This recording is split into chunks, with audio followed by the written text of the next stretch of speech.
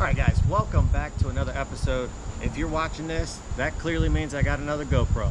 Um, it took us a while uh, to figure out uh, when to get one, but this this most recent Labor Day sale, uh, I ended up picking up a GoPro Hero 7 Silver 174 from the Navy Exchange. Uh, that's a crazy good deal, so we couldn't pass it up. Um, and then in the meantime, we also found out that the GoPro uh, Plus program that we were paying for, the subscription, is actually going to help us replace the GoPro Hero 5 Black. So we have a session. We're going to have a black here soon whenever they replace it. And now we have a 7 uh, silver. So um, that's good news. I've also got the logo in the works. I've got a, a, fellow teammate from FX working on a logo for me. I should have that this week. Um, and you'll start seeing that. I'm going to start putting it in some, uh, some merchandise and uh, get it on the channel. But today, I got an order from Kevin Dismuke, and uh, as you guys know, I got the Hobie at the beginning of the year to try to help me out with my tournament series.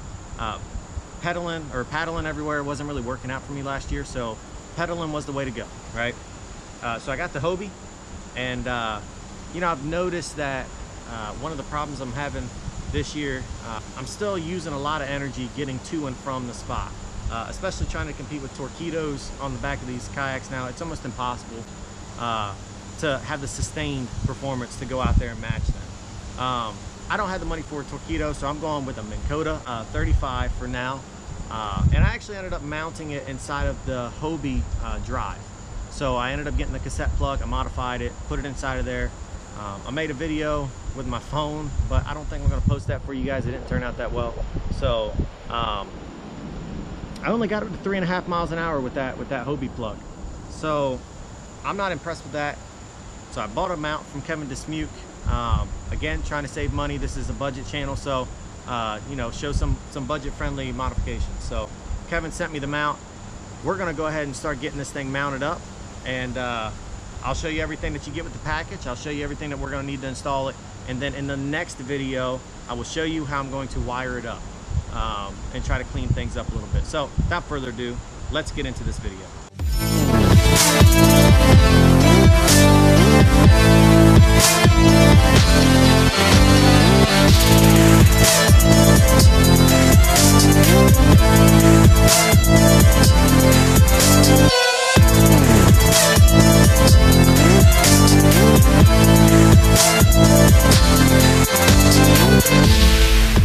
So these are all the supplies. Um, we'll start out, we've got a drill. Obviously you're gonna need an electric drill.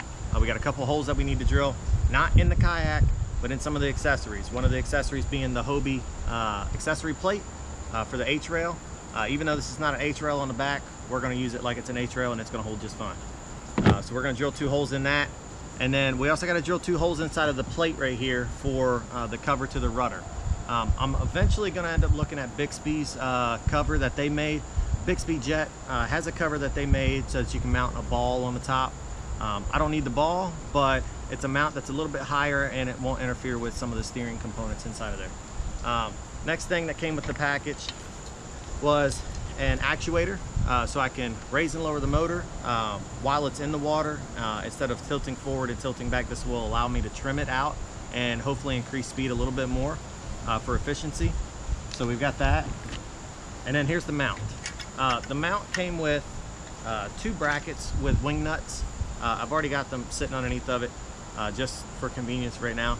But these wing nuts is what's going to allow you to easily remove the the, the track. So um, we're going to start measuring stuff out. We're going to try to make this as neat as possible and then get this on, try to get the actuator in there.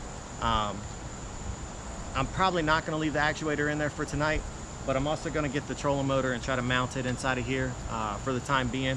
Uh, we have the hurricane coming through, Hurricane uh, uh Dorian. Uh, it's reaching Virginia today, uh, well, later on tonight into tomorrow morning. Um, so I've got to get this done because tomorrow it's supposed to storm all day long and I have a tournament on Saturday and I want this on there for Saturday. So let's get this thing measured out. Let's start getting working on this thing and then we'll see the end, end the, the end product afterwards. So let's get to it.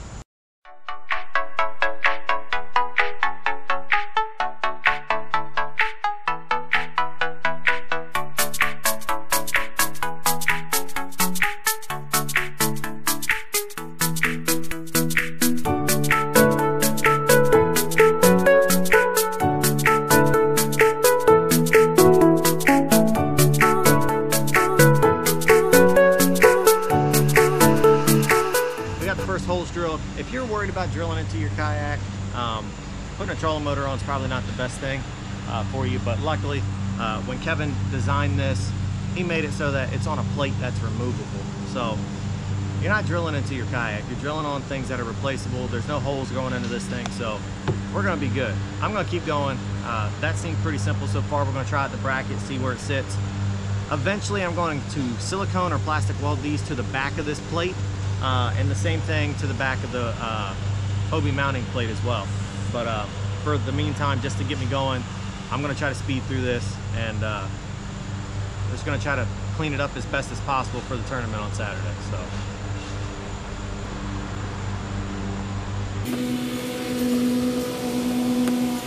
guys. I'm gonna drop the rudder and make sure I can still turn it. Um, I know that's that was a concern that was brought up by some other people, so I'm gonna drop the rudder, make sure I can still turn it uh, with the steering, and then hopefully it still works. Good. This bracket is not hitting uh, any of the rudder components inside of the steering box, so uh, we're gonna keep plugging. We're gonna keep going on.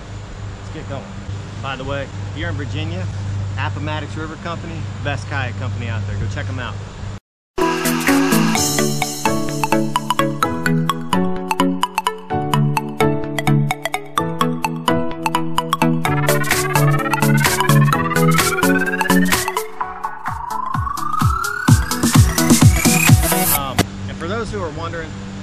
Size I'm using is a 930 seconds. It's pretty simple, it matches right up with the holes. There's a bracket. I'll show you this bracket real quick.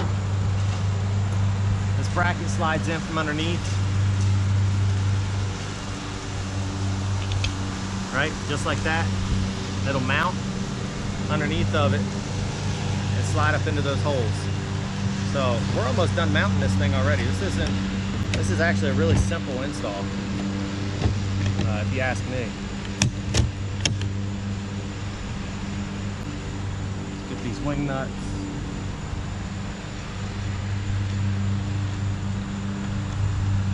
So we got to mount it. I'm going to go grab the trolling motor, uh, pull it out of the pod, and uh, slide it up in here. See if this thing will hold the weight. Uh, it definitely feels like it's going to hold the weight. And then we'll try to slide the actuator in. Uh, I got to find my my uh, socket set uh, so we can take these out and slide that actuator in. Then we got to drill one hole to the front uh, triangle part of the trolling motor and hook it up to the actuator and then we are done. But this is basically the install guys. That total time, this is probably only taking me 15 minutes to put this thing on, if that. Um, and it's gonna be faster uh, once I get done with the modification. So I've already been looking at, uh, at a replacement for this hinge because whenever I get done, I don't wanna have to worry about you know, pulling these wing nuts off. I want these things to stay in place. So I found a hinge um, that is supposed to be able to hold the weight, but it's got pins, uh, little like uh, squeeze pin. And it squeezes and releases a latch from inside of the end pieces, right? And what it'll do is it'll allow me to pull this whole back part off, right?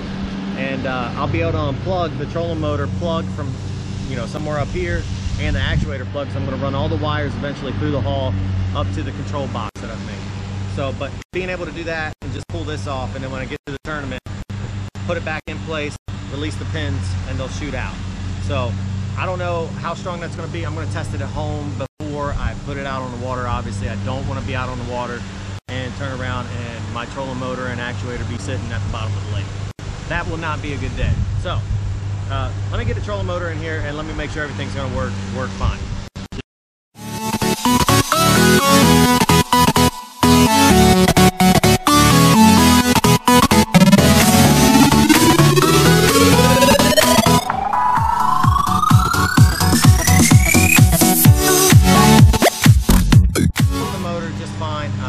I'm gonna pull these bolts out real quick, get the actuator up, see if it holds both of them just fine. Um, and then so one of the issues that I've got to figure out real quick is how I'm going to keep this stationary because as of this moment, this turns. So it will turn within this socket. And uh, I'm not trying to steer with the trolling motor. I'm going to steer with my rudder. Um, it was fine when I was steering with it when the motor was up front in the, in the Hobie hole. So um, I think we'll be fine. I just got to figure out how I'm going to do that. I think what I'm going to be doing is getting a uh, an attachment with a rod that comes out and will slide down through two holes. I'm gonna drill two holes in the bracket and it will slide down inside of there. And as I'm raising and lowering it, that rod is still gonna stay inside of that hole and uh, it will, you know, lock it in place. So that's what I'm hoping. I gotta look at it. Uh, I gotta figure out how I'm gonna pull that off. But uh, let's get the actuator in there and uh, get this finished up because the storm is coming through and the wind is just picking up and I'm not even sure if you guys are still able to hear me between the, the high winds and the lawnmower next door. So let's, uh, let's get this figured out.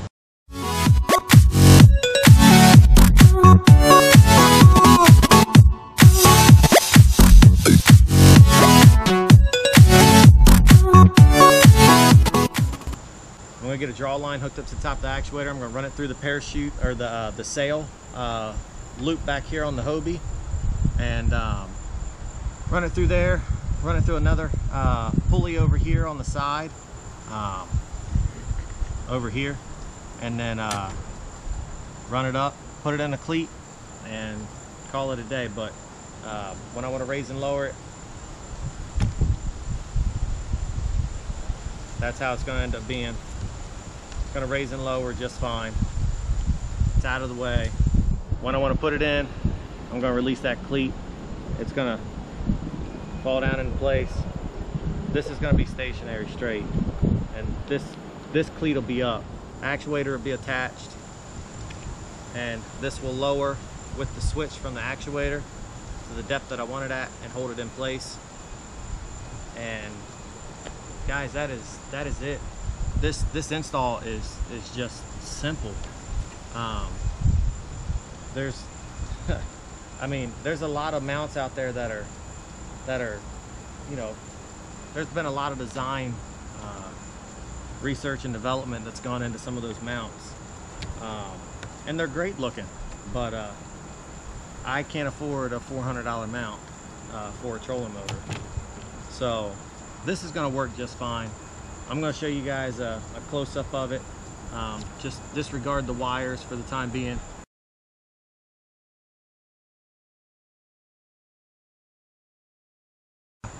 Show you guys how I'm to wire it up in the next episode and get out on the water and then we'll do some speed tests. Uh, I've been all over the internet looking for um, some videos on a combination between a trolling motor or a Torqeedo or a Bixpy uh, combined with the pedal drive. And I thought I found it in Alex's uh, videos, but uh, he did not do that. So I'm gonna put the drive in, the Hobie drive, the Mirage drive, and uh, I'm gonna use the trolling motor at the same time, see what speeds I can get uh, on what percentage uh, throttle and how much effort I'm putting out up front. So thanks for tuning in guys. Stay tuned for the next episode. Hope to see you guys back.